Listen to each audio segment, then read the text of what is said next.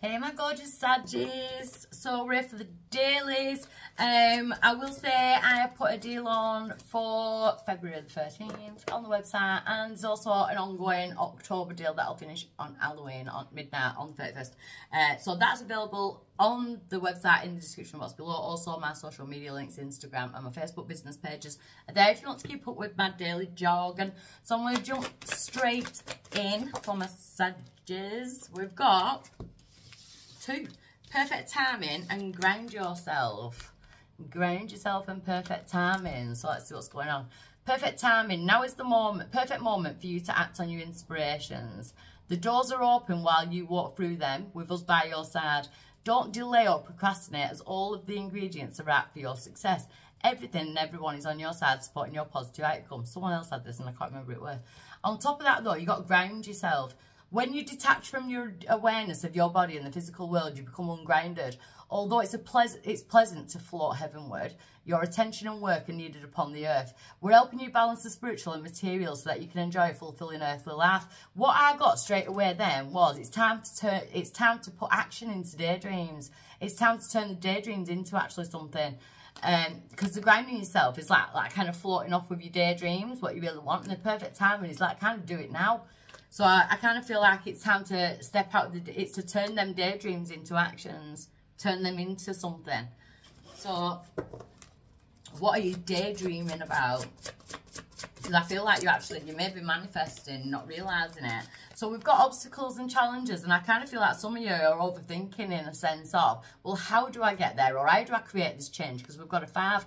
How am I going to get over there? It feels like there's constantly obstacles and challenges. But these orbs, they're actually, you know, you could back them out of the way. They're not exactly, they're not as big as you kind of think they are, or, or you're giving something or other situations too much power and control.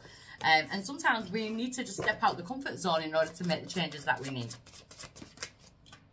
We've got love begins. So it could be, I don't go forward in love, you know? But again, the Ace of Cups is about what makes you happy and what makes you feel at home within yourself and around you. The Ace of Cups is a massive sign from Spirit saying, like, they're going to put in the same amount of effort that you put in. So I do feel like action is definitely needed. Could be dealing with Pisces, Cancer, Scorpio. Um, but I feel this is more about you starting a new stream a new stream of love, a new stream of finances. Maybe there's a sideline coming in, you know, that type of thing. But it's about getting that, getting that start on, making the start.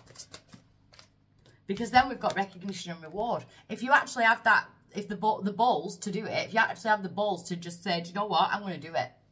It's my time. I'm going to do it. You will be recognised. So I feel like they're kind of pushing you. Ground yourself. Keep yourself grounded. But it is perfect time to like take that leap in something. Tell me about the obstacles and challenges. Whoa. We have a flyer. We've got the Ace of Wands and the Empress. So some massages, there may be pregnancies, fertility, that type of thing. Um, but again, it's about a rebirth. And the Ace of Wands is advancement. So whenever I see the Ace of Wands, it's almost like I'm seeing a plane flying over with one of them big signs saying change your life now. So they're telling you you're going through a rebirth. It's about advancement. It's time to go and grab that start. The Ace of Cups.